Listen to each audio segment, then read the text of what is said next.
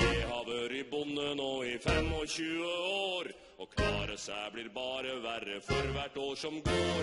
I fjor vår så tok flommen og tok hele huset med, men vi står ikke og bærer oss for det.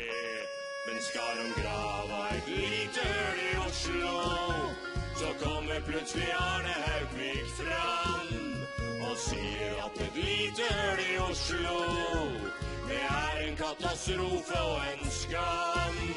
Kulturpersonlighetene bekymrer seg for det.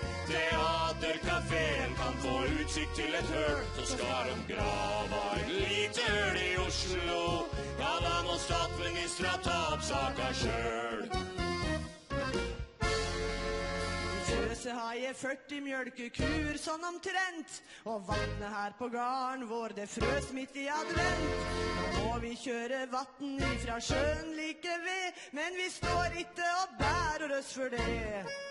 Men tog og T-bane skal ha i Oslo, så lenge ingen ser hvor hen de går. Og spør du oss, kan de skra opp hele Oslo.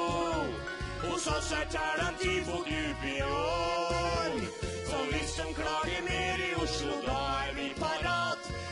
traktorkolonne kjører til Karl Johans gate, pløyer byen opp og planter potter.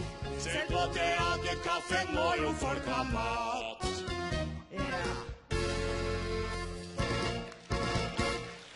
Nå har du sagt det, nå dreier vi. Ja, nå ser vi.